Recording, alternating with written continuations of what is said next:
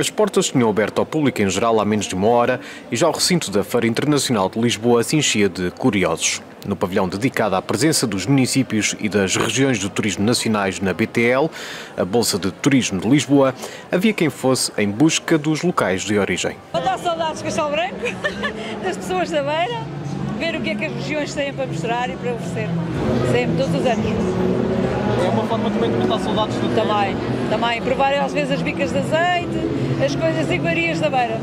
Os sabores são presença obrigatória no espaço dos municípios, mas o primeiro impacto é sempre o visual. Este ano o distrito de Castelo Branco esteve em Lisboa com um novo protagonista, vindo do Pinhal. Foi um passo pensado, planeado, porque Oleiros já de, não de agora, mas desde algum tempo atrás, temos vindo a, a, perceber que temos várias potencialidades do ponto de vista turístico e este ano decidimos apostar com um stand próprio na, na BTL, precisamente para demonstrar uh, a Portugal que efetivamente o interior tem potencialidades.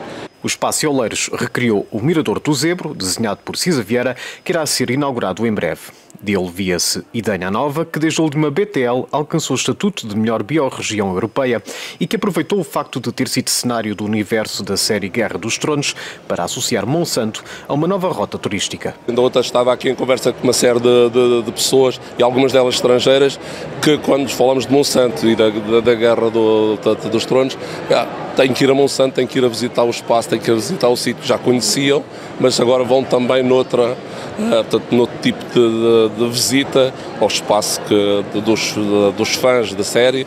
Em Penamacor manteve-se a aposta no turismo de natureza, mas com um espaço renovado. Já o ano passado tentámos, uh, não foi desviar tanto da questão de, do, do, do, madeiro, mas tínhamos uma imposição dentro do stand e uma comunicação uh, ligada com, com, com, o próprio turismo de natureza uh, e efetivamente este ano então, afincadamente, o turismo de sustentabilidade e natureza.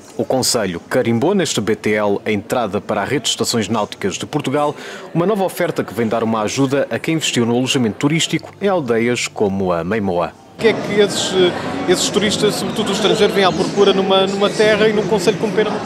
Vêm à procura de sossego, de férias relaxadas, de natureza de desportos eh, próprios aqui da zona, de, do, do, atletismo, do ciclismo, eh, enfim, agora também com a, com a estação náutica de, de desportos eh, ligados à parte, à parte náutica. Estamos a falar de uma zona lindíssima do ponto de vista natural e que, enfim, as pessoas realmente procuram esta zona e ficam, ficam maravilhadas, porque é realmente uma zona muito bonita e pouco explorada.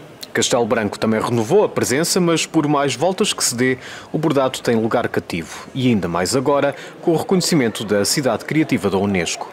Eh, fiquei maravilhada, não imaginava que ainda ia conseguir, no meu campo do bordado, chegar a esse, a esse dia. Pessoas que não conhecem ficam maravilhadas aqui de volta de mim a olhar, a apreciar a nossa seda, os nossos motivos, tudo o que o nosso bordado tem dizem que é de uma beleza, ainda há bocadinho tive aí duas jovens a balarem encantadas. Portanto, não é só as pessoas de uma certa idade que apreciam o nosso bordado.